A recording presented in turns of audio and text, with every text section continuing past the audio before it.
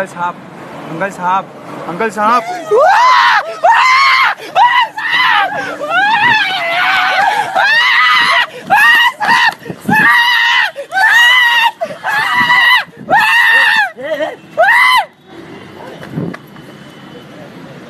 नकली सांप है। अरे, नकली है वो। रिकॉर्डिंग कर रहे नकली।